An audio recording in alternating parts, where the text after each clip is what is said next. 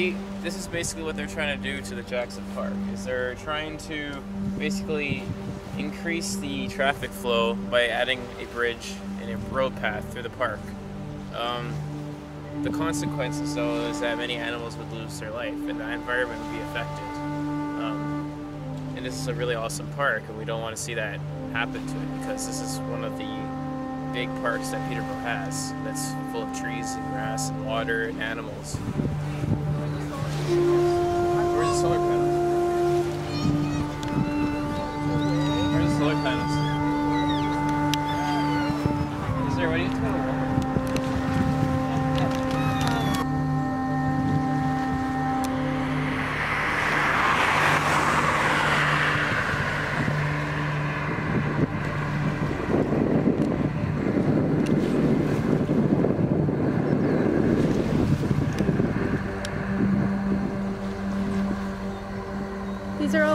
Solar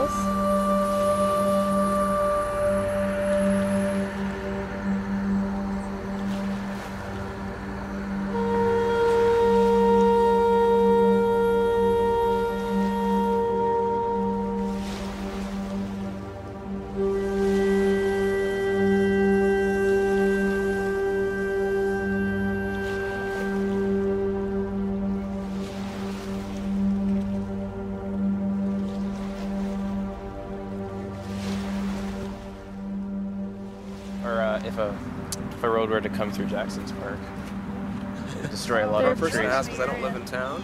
Oh. Probably not a good thing because I know they've been trying to railroad this through for a long time. So Mhm. probably not a good thing. I imagine. I don't see why it's even necessary. But again, I'm not. I'm not. A, I'm not up on all the facts because I don't live here anymore. Yes. So I haven't lived here for a few years. So. Well, thanks for your input. We're on the same page, basically. We think it's pointless. Yeah. Yeah. So yeah, I know they, they've been. I remember them talking about that in the '90s. So, Yeah, a lot of protesting. yeah, I know it's bigger now. Somebody mentioned it to me because that's the only people who live here, which is why we're here. But uh, yeah, so, All right, thank you. no problem. Have a good one. Hello, sir. Um, my name is Michael. We're just wondering how you would feel if there was a road that were to come through Jackson's Park. It would destroy a lot of um, trees. But it's uh, been protested for a while.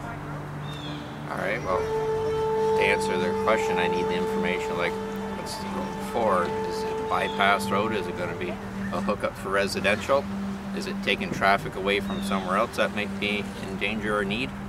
Or is this a very poor civil engineering plan that nobody thought that consequences through for?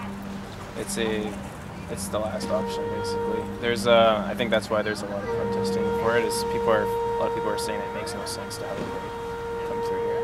We're not sure on what type of road it is, but Yeah. just Well, to get your car.